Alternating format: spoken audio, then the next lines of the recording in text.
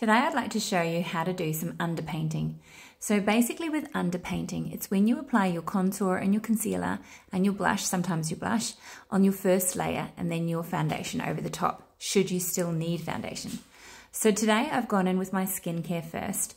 I'm using the Mecca Hydrating uh, Moisturizer, the Kylie Skin Eye Cream, and the um, a lip balm as well. Now this is the Airyday uh, Mineral Mousse and I'm just putting that on, that's my sunscreen, making sure I get my decolletage and neck.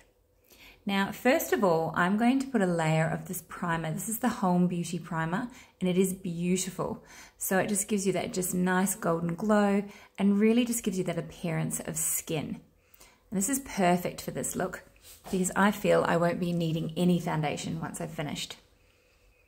So the contour is the first one. This is the Charlotte Tilbury Contour Wand and I'm placing that where I would like to define my face and really contour even on the eyes.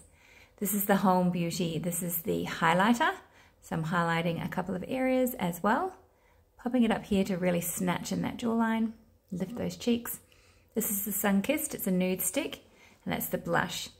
Now I'm using a beauty blender to just press those products in and I'm trying not to mix them too much. We just want some nice blending, no harsh lines and just pushing that into my, into my skin really gently.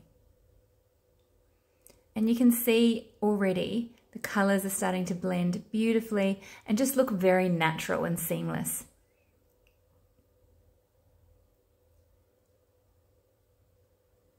Pressing that in getting all those little areas, that highlighter in there. Now I'm going in now with a bit of concealer, something that I would like to use, just a touch of concealer, because I'm not going to use any foundation. So I'm just adding this to the areas where I'd like just a little bit more of a lift and to really highlight those areas a bit more. So down the nose, under my eyes, over that little sore there, just on the tops of my